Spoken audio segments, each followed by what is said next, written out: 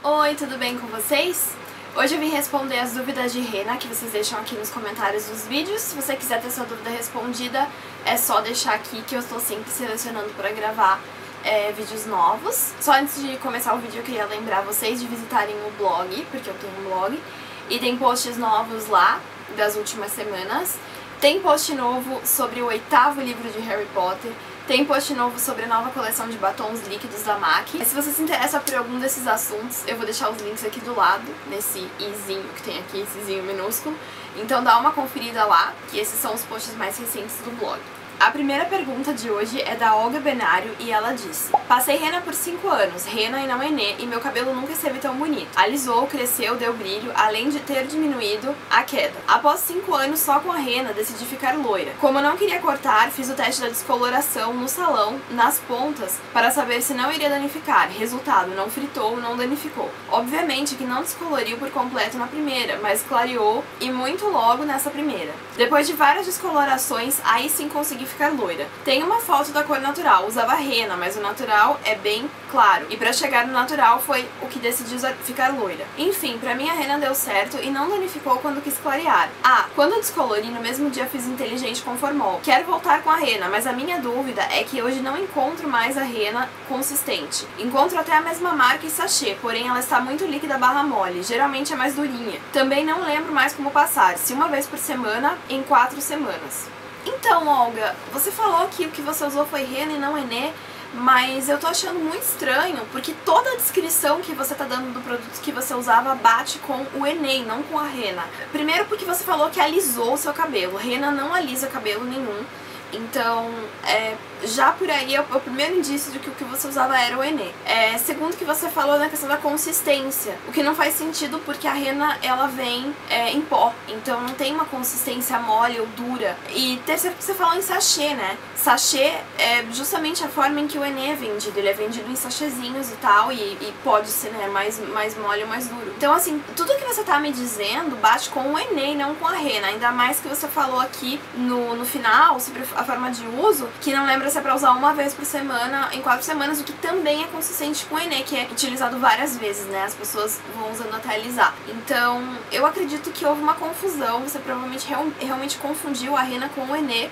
e o que você utilizava era o Enê. É, só acho que é estranho você ter feito uma descoloração e não ter fritado seu cabelo, porque o Enê não é compatível, né? Mas enfim, dá uma olhada nisso, porque se alisava o seu cabelo e deixava preto, então realmente o que você usava não era rena, e, e, era o Enê. Pergunta da Silvana Souza e ela disse: Patrícia, gestante e quem está amamentando pode usar rena 100% ou as renas com cor da Súria? Em teoria, sim, né? Porque por se tratar de um produto natural, né, 100% vegetal, em tese uma mulher grávida ou lactante pode sim utilizar. Mas eu acho que assim, qualquer coisa que vocês forem usar, se vocês estiverem grávidas ou amamentando, Conversa com o médico de vocês, com o ginecologista, com o obstetra, para evitar maiores problemas. Em tese, sim, a princípio, sim, mas eu acho que como cada caso é um caso, sempre é bom conversar com o médico de vocês. Na dúvida, levar a composição, né, para verem que se trata apenas de uma planta é, certinho pro médico, caso ele não conheça a rena, né, porque é possível, é, é um produto cosmético, né, nem todo médico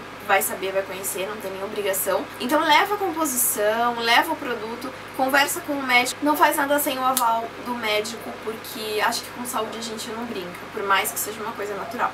Pergunta da Isadora Man e ela disse Adorei o vídeo, ainda não uso rena, mas pretendo. E essa parte de retocar me assustou um pouco. Uma dúvida, como faço para saber qual a numeração da tinta e cor que eu vou precisar usar? Como faz para garantir que depois da tinta e da rena a raiz não fique mais clara ou mais escura que o resto do cabelo? Então, no, no, no pior dos casos, teste de mecha. É, usando uma tinta da mesma numeração, é um, mínimo de mesma base, se você já usava um 8, usar um 8, se você usava um 7, usar um 7. É um começo começo, né? Você usar uma, uma tinta de mesma base pra, pra ficar na mesma altura de tom. Mas assim, na dúvida, teste de mecha. É, não tem outra maneira de ter certeza. Pega ali uma mechinha, faz o teste é, e vê a diferença de cor, se, se vai ficar na mesma altura e tal. Infelizmente, eu acho que não, não tem nada mais certo do que isso. E em último caso, procurar um profissional para igualar o tom. Cada caso é um caso, né? É difícil dar uma resposta assim universal que cubra todos os casos, mas se você vai fazer sozinha, usar uma tinta de mesma base e teste de mecha. Pergunta da Gabriela de Carvalho. Linda, socorrendo as desesperadas. Obrigada pelo elogio, Gabriela. Meu cabelo é um castanho bem escuro, natural e cacheado tipo 3A. Queria muito ruivar, minha intenção era usar a rena, mas não queria descolorir. Você acha que se eu ir clareando com uma tinta 12 ou uma super clareadora e depois jogar a rena consigo um acobeado, o ponto de interrogação não está funcionando. Gabriela, assim, a tinta que você vai usar, acho que assim, esse, esse é um ponto, eu peguei essa pergunta porque eu acho que é um ponto bem importante.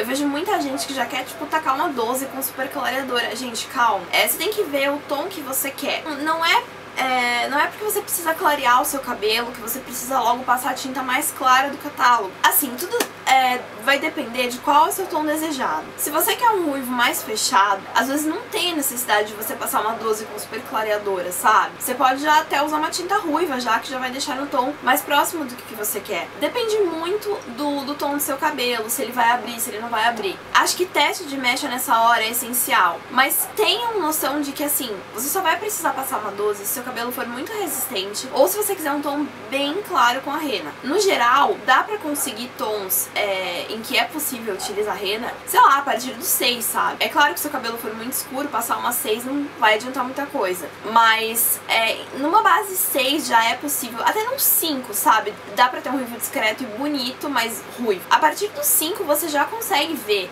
o ruivo no cabelo. É, então não necessariamente você precisa partir pra uma 12. Talvez uma 8 já seja o suficiente, uma 7 Faz teste de mecha, sabe? Se você tá na dúvida, é... vai no salão e faz uns testes de mecha com, sei lá, duas tonalidades diferentes ou algo assim. Mas não é porque seu cabelo é escuro que você vai ter que necessariamente passar uma 12. Eu mesma uso uma tinta de base 7, sabe? E meu cabelo, tipo, não é tão claro assim e funciona bem pra mim. Então, assim, no final das contas, tudo depende do qual tom que você quer chegar. Aí a pergunta da Felicity, e ela disse, Olá, antes ou depois de Botox capilar? Obrigada e parabéns pelas informações. Assim, você pode usar tanto antes quanto depois, vai depender da situação. Explico. Eu recomendo, acho sempre melhor deixar a rena pra depois, porque o Botox pode fazer a rena desbotar um pouquinho. Então se você quer garantir que não vai desbotar, eu acho melhor usar a rena depois, que assim você evita o problema de desbotamento. Mas caso você já tenha usado a rena e daí você quer fazer um Botox por cima, não tem problema, só espera a rena oxidar, que é um processo que vai levar de 3 a 7 dias mais ou menos depois que você aplicou pra acontecer. E eu acho bom respeitar esse processo de oxidação para evitar alterações de cor e outros problemas futuros, de repente repente que seu cabelo manche, alguma coisa do tipo. Então assim, você pode fazer tanto antes quanto depois, mas se for depois, tenha a noção de que pode desbotar um pouquinho e que é bom você esperar pelo menos uma semana entre os dois processos. Então as perguntas de hoje eram essas, espero que o vídeo tenha sido útil. Se você gostou, deixa um gostei aqui embaixo pra mim, isso me ajuda bastante na divulgação do canal. Vou deixar as minhas redes sociais aqui do lado. E se você não for inscrito ainda no meu canal, faz isso clicando aqui embaixo no botão, que assim você vai ser atualizado quando eu postar vídeos novos, seja de rena ou seja de qualquer outro assunto legal aqui no canal. Então eu espero que vocês tenham gostado. Beijo, até o próximo vídeo.